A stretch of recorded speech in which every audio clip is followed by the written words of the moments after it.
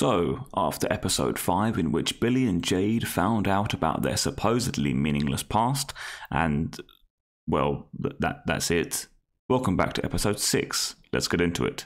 So, Albert realizes that the journalist is probably bad news, as the journalist is aware of Albert's daughters. So, he offers him a way out via self forever sleep if he answers if anybody at Umbrella is aware of his daughter being bit or any of the escapades that have caused a number of problems at the Umbrella facility. They should really get better network security. I'm just saying. Which leads us to the sponsor of this video, NordVPN. I'm kidding, I'm, I'm kidding. So after Evelyn takes Albert in for suspected espionage, we are taken back to the future, to Billie and Jade. After some painfully generic drama scenes, Billie lets Jade go. Why? Well, like in most of the best shows of 2022, we don't know, and are never fucking told, because fuck you. That's why. Conveniently, all of her confiscated gear is unguarded, and none of the guards seem to wonder why the captive fugitive is running off at full speed with a load of her gear. And also, conveniently enough, a few minutes away in Calais are a crew from her home base that have been searching for her, even though she was totally alone on a research trip for six months, and the last they spoke to her, she was in London, over 90 miles away. We're 35 minutes in, by the way. This is all that's happened of note. I mean, if you consider utter fucking bollocks anything of note. But yes, this episode is mostly about life in 2036 aboard the vessel that Jade and the survivors are experiencing which basically means the first 30 minutes of this episode doesn't need to exist. I mean, the entire show doesn't need to exist, but yeah, this episode is 99% filler and 1% rage inducing bollocks. So, after 45 minutes of utter drivel, they actually discover something rather interesting the biopsy that they conducted on the tissue from the throat of the screeching monster we saw in the last episode, which seems to control the basic bitch zombies, comes back and there are two important enzymes to study.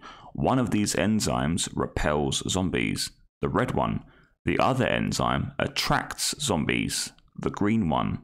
So, in theory, you could use the red enzyme as a cure or a repellent, and the green enzyme to target something for the zombies to attack.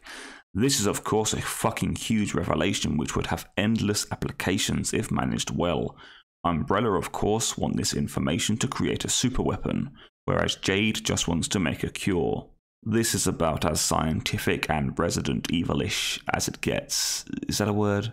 Fuck it, I'm going with it. But yeah, my question is why we have waited five episodes for this to finally happen.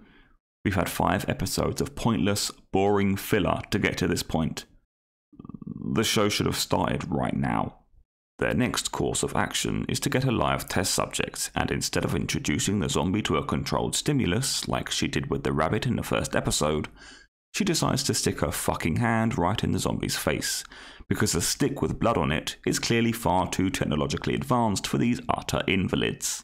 The zombie then breaks free because it would seem the restraints were made of blue tack. She then chases the girl down the hallway and then eats some bitch. At no point during this chick being eaten does the little girl seem particularly scared. I mean, she's never seen a zombie apparently, yet she sees one eating her friend and doesn't react at all. We then end the episode with Wesker imprisoned in cells adjacent to more Weskers, confirming what fans of the series already knew. He's a clone. This is treated like a grand revelation, but if this show is apparently made for the fans, then why would they treat it this way? We already know Wesker has many, many clones. I mean, this is of course just even more proof that this dog shit was not made for fans like you and I, but for the mainstream bellends that couldn't see a shit show if it was staring them in the face, which if they were watching this show it would be. Anyway, thanks for watching. I hope you are all doing well, and as always, take care.